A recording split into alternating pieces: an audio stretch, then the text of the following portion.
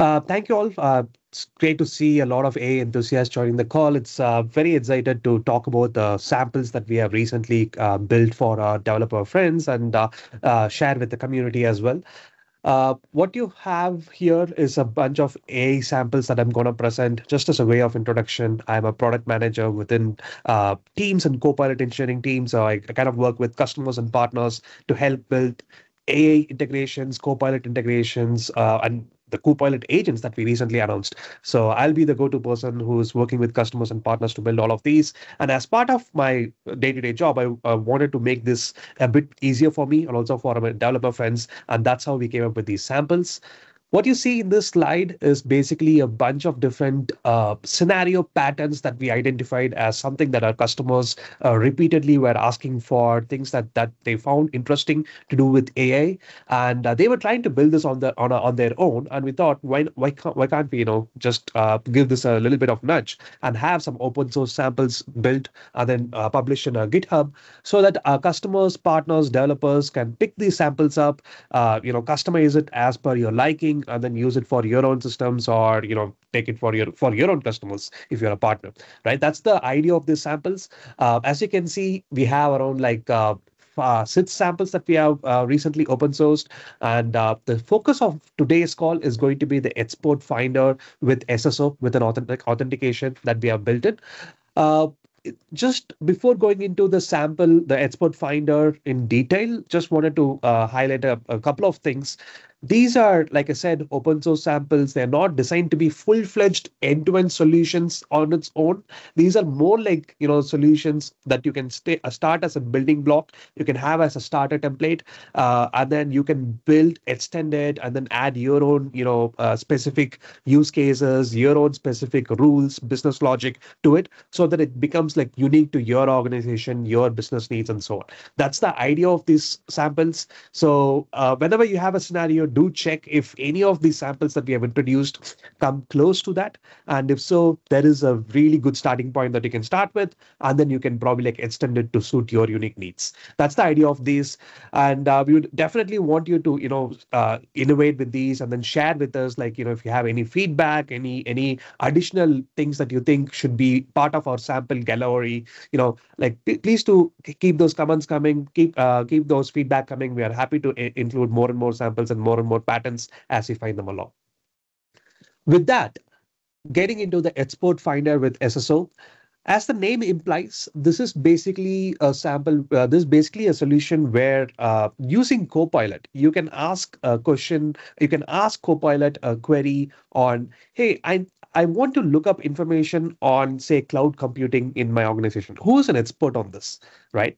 Or I have an upcoming project coming up and uh, my project needs uh, you know uh, people who are expert in .NET or C Sharp or probably like Node.js, and they should also know React, right? Like, can you provide me people or uh, list me people who are currently available and upskilled on this, on these technologies, right? So these are common kind of like uh, pattern that you see across different customers who kind of like have a lot of project needs, unique needs, where they are building a new team to work on a particular project, or they are building even a hackathon, right? We actually, we are actually have a hackathon week right now going on in Microsoft. So all of us are always looking for different folks who are expert in different areas and Copilot being Copilot, it it is able to come up with these, you know, uh, uh, these names of people who are in our organization based on whatever is available. If there is a, if there is information available in your email, in your chat, or in your, uh, you know, in SharePoint, then it can probably be, bring this up. But what if this information is available in a separate database? Your organization or your customer's organization has this, the, you know, database of people along with their skill set, along with their years of experience and some other you know uh, metadata which can help you make a really good search on the database and bring up uh, relevant people relevant information based on the kind of skills that you're looking for but then it's behind an SQL query. Not all of our end users might uh, be familiar with SQL or be comfortable with SQL. So this solution is kind of like the bridging game between the need that we have and and the uh, drawback of not knowing SQL or not knowing or not being comfortable working with the database directly.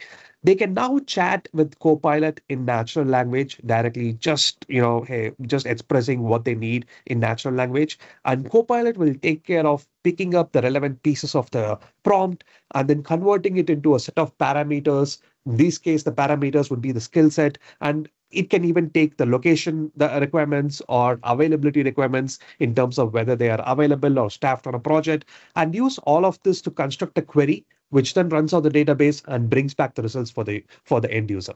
That's the idea of the sample. Uh, we'll quickly jump into a demo of it and then i'll come back to the slide to discuss what else can be done with this right Here is a video of uh, how we uh, how this sample can be used in real world. So as always, like this is something that you can start with Teams because we have this chat interface in Teams.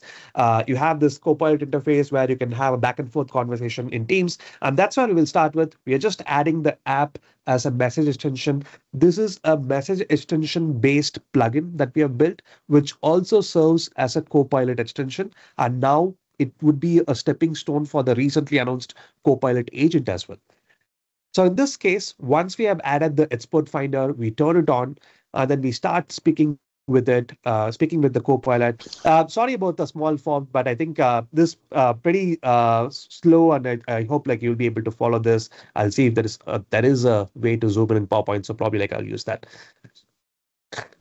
So essentially, the expert finder sample uh, is, is currently added as an app, and you are able to uh, chat with Copilot asking who are the candidates who are based in India and have Azure as a skill area that they are uh, expert on right? This is a common ask that that come in very uh, a, uh, a, lot of professional services firm. Take ey uh, you know take ey kpmg all of this professional services firm frequently look for candidates to kind of like fulfill their uh, resourcing needs. And this is something that you will see uh, being asked left right and center on different emails chat forums and so on and people scramble to find a relevant person who can be staffed on a project immediately. Whereas here they ask Copilot, and here is what happens, right? Copilot in turn calls the message extension plugin that we built, and it is able to call an Azure table on the backend, which has a list of all the employees and stores the, the, the respective skill set, and it is able to get the uh, information from them. But before all of that, we said a word called SSO, right? So that's an, another unique thing that we brought in the sample. Uh, this sample is SSO authenticated. What this means is when you start a conversation, if you haven't been authenticated so far, it will show you a sign in button like this. And you can click on the sign in button, right? You click on the sign in button and it opens up a dialog box. Since this is SSO, you do not have to enter your uh, you know credentials again. It will take this from your team sign in itself but you just need to look up you know it, it, just show you the kind of information that it will need for it to function and you can just give a consent and forget about it and this will sign in automatically right? This is very similar to the sso that you are familiar in teams bot uh, in in teams message extensions that kind of like translates over here too. Now once you are signed in this button goes away and you are able to continue the conversation with the copilot plugin as you as you uh, as you are previously used to in this case, uh, we are also working on ways where you can make the sign-in even more easier, where at the toggle stage itself, we'll be helping you sign in without having to do a separate button click here. That's something that we are exploring and will be coming up soon. So once signed in, the app has this token, app has everything that it needs to know about you, your query. Now it actually runs the SQL query in the backend Azure table and brings up the relevant candidates as you can see over here. I'll take a quick pause and zoom in a little bit. We have asked the question, find candidates who are based in India and have Azure as a skill. Now, out of this natural language sentence, Copilot kind of acts as a filter which converts this natural language sentence into a bunch of parameters. In this case, the parameters would be uh, based in India. So the location is equal to India. Skill is equal to Azure. These are the these are going to be the two parameters that Copilot will extract from this. And using these two words or keywords, it will form an SQL query and run it against the Azure table. So The result of the table is shown over here. John Doe and Alex Wilber seem to be the two candidates who match the search. And uh, uh, this is a debug information that we have turned on. So you can see the plugin has actually been called. It has returned a response and we are able to even hover over and see that add card that comes up. This message extension, like I mentioned, uh, works separately as a uh, message extension in a chat as well. You, you, need not really need to use it in a uh, in Copilot. You can use it even outside. You can search for the specific skill set and get the relevant candidates, and even send it across in a chat whenever someone asks for, "Hey, uh, do we have any any uh, resources who are available who have this XYZ skill set?" You can even uh, use it as a message extension outside Copilot too. Now, in addition to this, uh, Copilot uh, being uh, being a very uh, capable uh, document reader, document processing engine as well.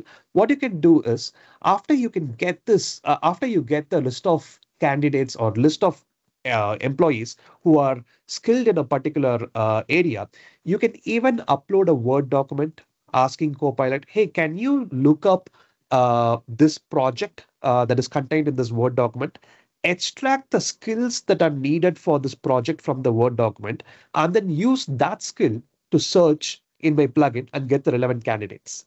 So you are kind of like not you're kind of like relying on Copilot's uh, innate language skills to first read a Word document, extract the skills from the Word document, and then using the plugin to search the search the uh, Azure table and bring the results back as well. So doing this in a workflow like fashion where you had to do a resourcing need for multiple different projects it really really ends up saving a lot of time. That's a unique advantage of using this using this method. Uh, again there is another example over here where we are asking uh, you know expert finder to find candidates who have sql as a skill and we are also passing another parameter who are available, who are currently not staffed on a project, right? So this is another example of a multi-parameter query that we are sending to Copilot, and Copilot is able to intelligently recognize, recognize, oh, we are asking for XYZ people who are available and not really staffed, and also skilled in SQL, SQL, and, and is able to search the database based on that. Quickly jumping into the code of how this functions uh, it'll be good for us to start with how Copilot is able to understand the uh, natural language query and is able to process that, right? So in the manifest.json that we have created for this particular query, this is available in our GitHub. So you can take a look at this uh, uh, after the call as well. Uh, but here is where I would start. The manifest.json that you see here, where we have explained to the Copilot, hey, a query, this particular plugin is meant to help you, help the users with finding candidate profiles who match a certain criteria such as skills, location, availability. So use this plugin whenever users are looking for people or candidates or profiles uh, based on skill, based on location or availability. I should be the plugin that you are supposed to call. So this description that you see at this level, the command description, kind of helps the Copilot to determine, oh, whenever I get a question related to uh, XYZ person, I need XYZ person with skill set, or I need this person in this location, you know, those kind of questions I should call expert finder plugin. So this line is what instructs Copilot with that information. Once it chooses this particular plugin uh, based on the query, it then further uses these parameters to deconstruct the sentence, the prompt that we have written into a bunch of parameters. So in this case, we have defined parameters could be, there could be a skill parameter, there could be a location parameter, and there could be an availability parameter, right? We have described what we mean as skills skills are possessed uh, skills are those things that uh, that we that are that are had by candidates based on which their profiles can be searched. And we are even giving certain example values for skills. It could be .NET skill Azure Node.js uh, so programming skills or hard skills is what we have defined over here. You can extend it to you know explain it in even more words using more words. It could be soft skills. It could be any other list of skills that Copilot can uh, Copilot can classify as skill category. Now, once you have this defined, whenever we write in natural language anything that, resemble, that resembles a skill, Copilot will be able to extract that particular skill keyword, whether you type it, you know, communication skills or uh, managerial or leadership skills. So all of that would be extracted as a keyword and sent to you, using which you can search people whose profile match that particular skill criteria. We also define location and availability in the same way. We describe location as a country or a region's name. You can define it to be to have a state's name or even to uh, identify pin codes. Uh, Copilot will be able to respect that. Uh, availability in this case, we have it as a binary value, just yes or no, if they are available or not. Sometimes people might want to look up people who are staffed on a project, who are free on a project. So because of this, we have a binary value over here. Now, once we extract these parameters, this is where all the magic happens. Search app.js. This is where we get all of these parameters uh, and store it in a separate variable, uh, sorry, in a, in a separate constant. And then we use this to actually search the Azure table. So in this case, once we get all these parameters, skills, country, availability, and not all of this need to be filled. Certain queries can just have skill, availability and uh, you know location could be null and certain queries can have country and others could be null that's fine. So whichever value is not null whichever value has something in it that will be used to search fetch candidates. And uh, here is the search logic that we have used where we are searching the azure table and whenever a particular uh, uh particular logic satisfies a particular skill set then that particular candidate is mapped and we are fetching the candidate over here. So if you see the logic over here, this is where the candidate is being fetched and we are getting the candidates based on their skill or location and we are sending them back to Copilot. Now, the way that we are sending them back to Copilot is once we get the candidates, we are wrapping them in the form of an adaptive card. In this case, we found the adaptive card to be pretty simple. The photo, the profile of a person, the name of the person, what project they are assigned to, and so on basic details about the person uh, in sort of fact set, skills, location, availability, and wrap that information in the form of an adaptive card and send it back to Copilot so that Copilot displays the adaptive card back to the user. This is what happens in this particular sample. One unique way that you can expand this is if you have in the manifest.json, you can actually describe this parameter as a comma separated value or an array of objects so it does not need to hold one skill. It can hold multiple different skills as comma separated values. And your database can do a multi-skill search in one go. It doesn't have to match with just one skill. It can do multiple skill search in one go. You can also uh, uh, you can also do an additional uh, additional set of parameters related to say their business unit, whether they have uh, work permit to work in certain locations.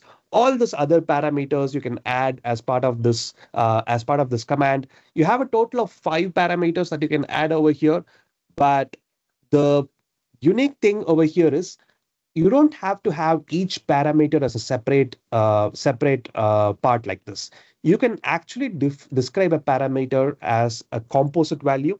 You can describe a parameter as filter by parameters. And within that, you can have an object key value pair, which describe multiple different parameters in one go.